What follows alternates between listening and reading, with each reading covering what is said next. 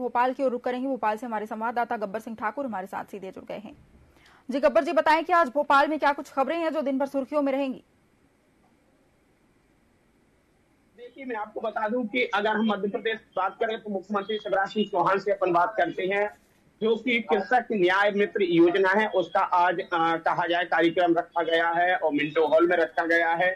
लेकिन इसके पहले मुख्यमंत्री शिवराज सिंह चौहान चूँकि इंदौर पहुँचे हैं इंदौर में लाडली बहना योजना कार्यक्रम में शामिल हुए और वहाँ से फिर भोपाल आएँगे। तो ये बीजेपी की या फिर हम कहें कि सरकार की, जो योजना है, जो कार्यक्रम है, वो है वही दूसरी तरफ़ अगर हम कांग्रेस की बात करें तो कांग्रेस में आज कार्यक्रम रखा गया है। इसी के साथ में जो शपथ ग्रहण समारोह है वो भी रखा गया है। बीजेपी के कुछ लोग हैं जो कि कांग्रेस रहे हैं। आपको बता दें कि बालाघाट से बोध सांसद है। वो आज कांग्रेस में शामिल हो रहे हैं। साथ ही जो मुख्यमंत्री शिवराज चौहान की सलाहकार चौबे हैं। सुमित चौबे जो कि आज कांग्रेस का दामन थाम रहे हैं हमारे साथ में सुमित जी है। सुमित जी, आज आप कांग्रेस का दामन थाम रहे हैं क्योंकि आपके जो चाचा हैं, वो चूँकि बीजेपी में है।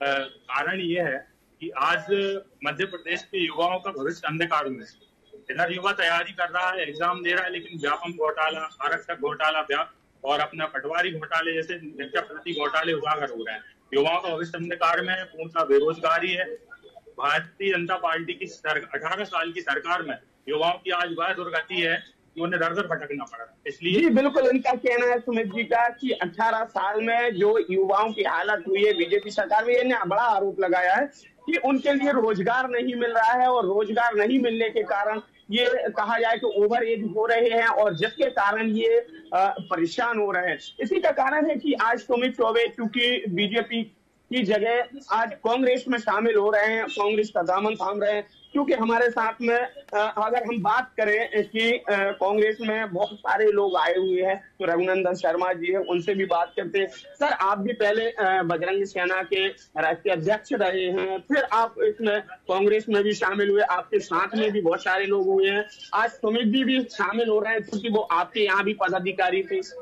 बजरंग सेना में सुमित चौबे जी प्रदेश महामंत्री युवा मोर्चे के रूप में पूरे प्रदेश में काम कर रहे हैं और लंबे समय से दुखी थे आज युवाओं की जो हालत मध्य प्रदेश में जैसा अभी सुमित जी ने बताया वास्तव में बहुत महँगी हालत मामा केवल हज़ार बारह सौ रुपये देकर बहनों का वोट खरीदना चाहते हैं कमर तोड़ महँगाई से जनता परेशान है किसान तृप्त है चारों तरफ़ हाहाकार मचा हुआ है। और एक भी उद्योग फैक्ट्री मध्य प्रदेश में नहीं खुली है इतना लंबा समय हो गया है। कमलनाथ जी से सबको आशा है। क्या तो कमलनाथ जी से किस तरह की आशा है। कमलनाथ जी ने आप लोगों को किस तरह की आशा दी आप भी कांग्रेस में शामिल हुए थे कुछ दिन पहले तो आपको भी किस तरह की आशा दी थी उन्होंने। हमारा तो मेन मुद्दा था गौ माता आज बेसहारा घूम रही है।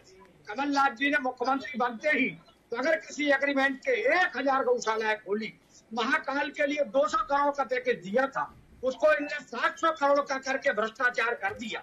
महाकाल के नाम पर उन्होंने घोटाला किया। व्यापम के नाम पर अनेक युवाओं को अपनी शहादत देनी पड़ी। और 18 वर्षों में ये ये समझने लगे हैं कि हमको कोई हटाने वाला नहीं है। जी, बिल्कुल इनका कहना है कि 18 सालों में बीजेपी के लिए ये भान हो गया है। कि अब हमें कोई नहीं हटा सकता, लेकिन कमलनाथ जी है और वही दूसरी तरफ़ जो कि बीजेपी से लोग आ रहे हैं, कांग्रेस में ऐसा इनका मानना है, विश्वास है कि कमलनाथ की जो योजनाएँ हैं, वो सरकार आने के बाद में वो योजनाएँ कहीं ना कहीं लाभदायक होंगी। हम दूसरी जगह आपको ये भी दिखा सकते हैं कि देखिए, जो यहाँ पर ये पंडाल लगाया गया है, स्टेज बनाया गया है, इस तरह से यहाँ पर स्टेज बनाया गया है। ये बहुत सारी भीड़ है, यहाँ पर आप देख रहे हैं कि लोग यहाँ आ रहे हैं।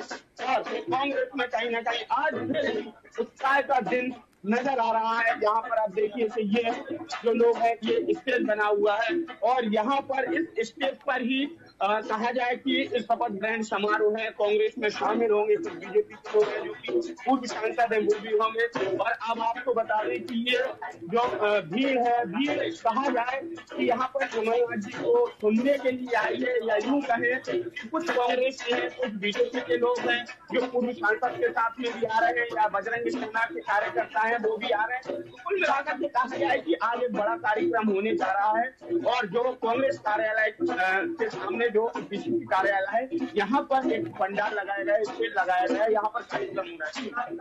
जी।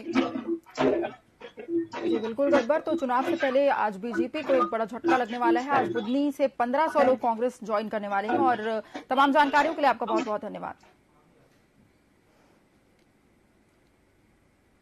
ये थे हमारे संवाददाता भोपाल से गब्बर सिंह ठाकुर, जो भोपाल की तमाम बड़ी अपडेट